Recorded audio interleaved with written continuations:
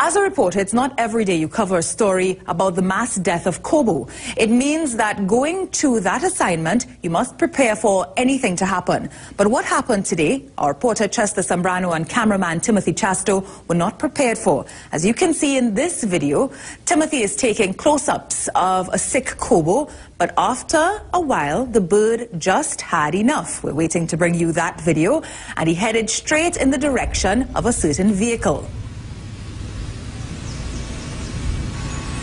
Where Chester Sambrano and another and a female reporter were seated.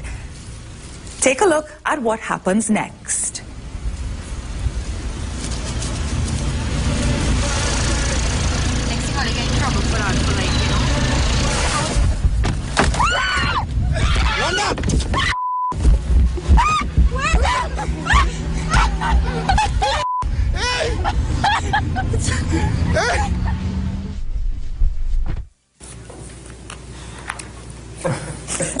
so a little bit of human comedy for you there coming out of what can be or what could be a serious tragedy.